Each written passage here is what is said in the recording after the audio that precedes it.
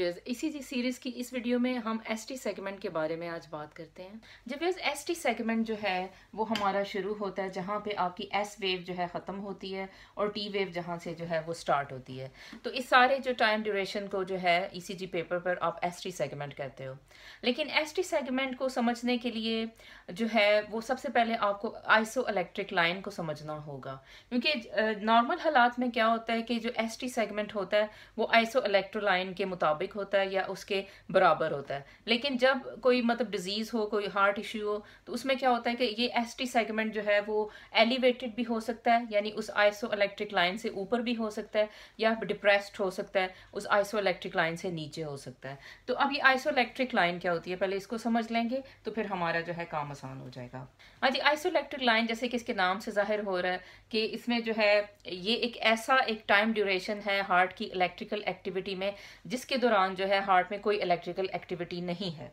अच्छा अब जैसे हमने ये दो मतलब हार्ट बीट्स बनाई, एक ये P Q R S complex ये बना दिया और ये एक P Q R S complex ये बना दिया। अच्छा अब इसमें देखें कि ये, अब ये सारा, आपको पता है कि ये सारा एट्रियल डीपोलराइजेशन वेंट्रिकुलर डीपोलराइजेशन और टी वेव जो है वो वेंट्रिकुलर रिलैक्सेशन यानी हार्ट जिसमें सुकड़ रहा है और अपनी जगह पे वापस आ रहा है, ये सारी एक बीट है और ये भी इसी तरह की एक बीट है। अच्छा अब इन दो बीट्स के दरमियान का जो एरिया है, यानी इस टी वेव जहाँ पे ये एंड हो रही है और इसकी पी वेव जहाँ पे शुरू हो रही है, यानी ये टी पी सेगमेंट जो है ना, ये आपकी एक्चुअली आइसो इलेक्ट्रिक लाइन है। और ये जो है ईसीजी e में रेफरेंस के तौर पर यूज़ की जाती है, और इसी के मुताबिक आप जो है चीज़ें देखते हो कि ये जो है अच्छा इधर ये अपराइट है, या ये जो है डाउन स्लोप हो गया, या इन्वर्ट हो गई है चीज़।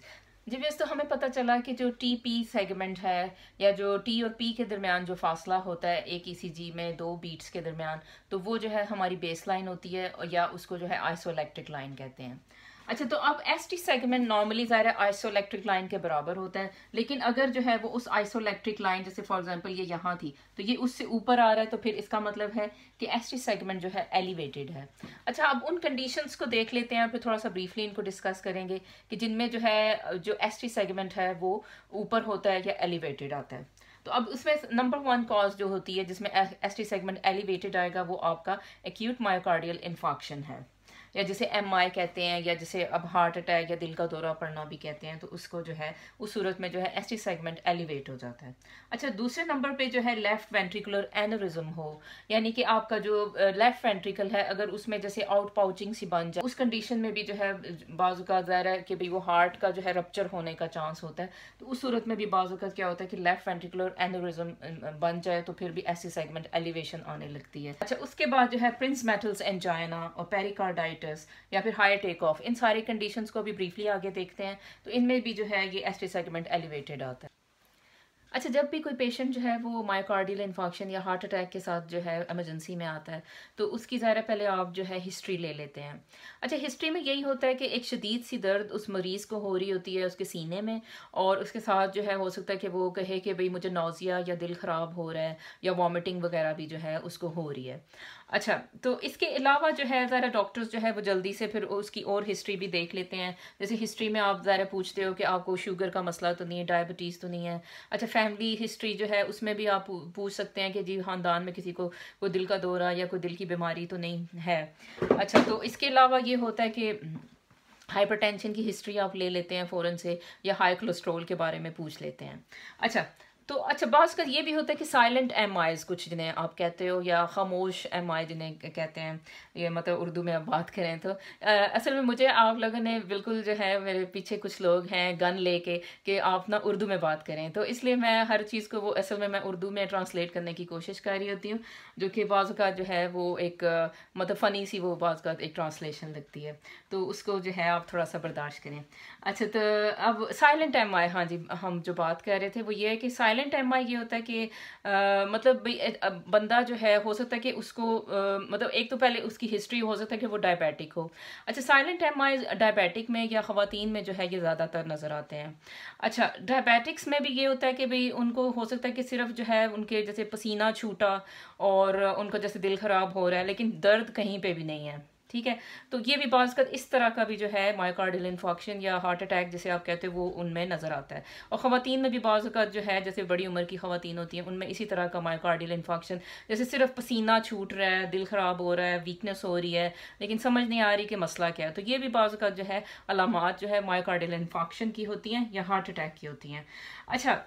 अब पेशेंट की जब आप ईसीजी e करते हैं, ज़ाहिर है आप कोई भी पेशेंट जब इस तरह के सिम्टम्स के साथ आता है, आपको लग रहा है कि वजह जो है हार्ट में है तो उसकी ज़ाहिर सबसे पहले आप ईसीजी e करते हैं। अच्छा ईसीजी e में है जो माइकार्डियल इन्फॉक्शन की ईसीजी है, उसमें जो है वो डिफरेंट चेंजेस नज़र आती हैं आपको ना तो वो थोड़ा सा देख लेते हैं और फिर ये वाली चेंजेस जो है और किन कंडीशन में नज़र आती हैं, उसको थोड़ा सा ना हम समझते हैं। क्योंकि ये बहुत स्टूडेंट्स जो होते हैं, वो अक्सर वो कन्फ्यूज़ रहते हैं कि भाई, वो कहाँ पर क्या आ रहा है और उन्हें कुछ समझ नहीं आती। अच्छा जी, अब हमने पेशेंट की जब ईसीजी की मतलब जो आया माइकार्डियल इन्फॉक्शन का जिस जो हमें लग रहा है तो उसमें सबसे पहले देखें, जो इनिशियली जो आपको जो एक मतलब वेव फॉर्म नज़र आती है मतलब इनिशियली ईसीजी में माइकार्डियल इन्फॉक्शन में, वो जो है आपको टी वेव जो है ना बहुत बड़ी बड़ी सी, जिन्हें आप कहते हो हाइपर एक्यूट टी वेव जैसे इसमें नज़र आ रहे हैं, जैसे ये पी वेव है, ये क्यू आर एस कॉम्प्लेक्स है, और ये बड़ी सी टी वेव्स नज़र आती हैं। शुरू में जो है वो बड़ी सी टी वेव्स नज़र आती हैं, जिनको हाइपर एक्यूट टी वेव्स कहते हो। अच्छा दूसरे नंबर पर थोड़ा सा फिर और जब टाइम गुजरता है तो उसमें जो है आपको फिर ना इसमें इस ईसीजी में एस टी सेगमेंट एलिवेशन जो है नज़र आने लगती हैं।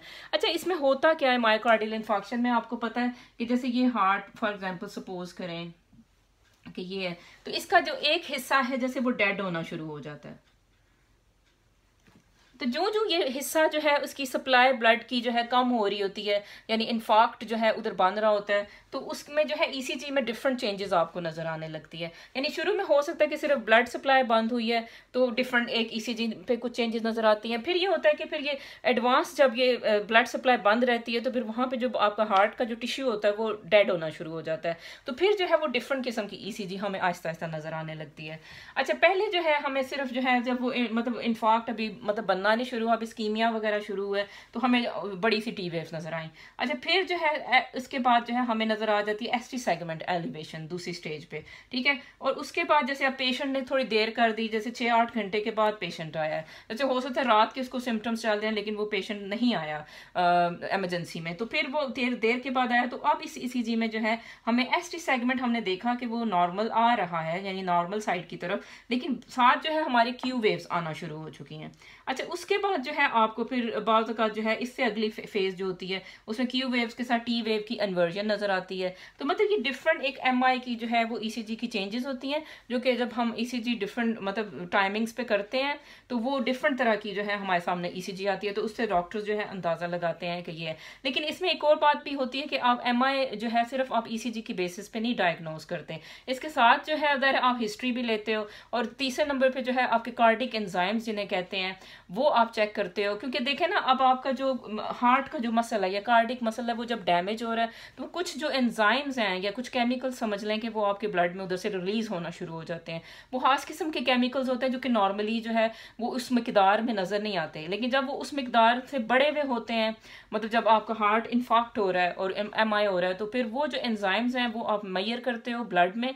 उस वक्त जब को किसी को हमें शक है कि भाई इसको एम आई हुआ हुआ है। तो वो जब एंजाइम्स जब ब्लड में बड़े हुए आते हैं नज़र तो फिर हम कह देते हैं कि भाई ये मायोकार्डियल इन्फॉक्शन इस पर्सन पर्सन को हुआ हुआ था। तो ये जो होता है, ये डायग्नोस्टिक होता है। यानी सिर्फ़ ईसीजी पे आप रिलाय नहीं कर रहे हो, क्योंकि बात का ये होता है कि ईसीजी नॉर्मल आ रही है, लेकिन बंदे की हिस्ट्री जो है, वो उससे भी लग रहा है दर्द उसको इतनी शदीद हो रही है, उससे भी लग रहा है कि इसको मायोकार्डियल इन्फॉक्शन है, और फिर ये होता है कि भाई एनजाइम्स रेज आ जाते हैं, जो सी के एम बी वगैरह। तो वो जो है, फिर आप कह देते हैं कि भाई इसको भाई जो है, इनको एम आई हुआ हुआ है। तो इस बेसिस पे भी जो है इसका डायग्नोसिस हो जाता है।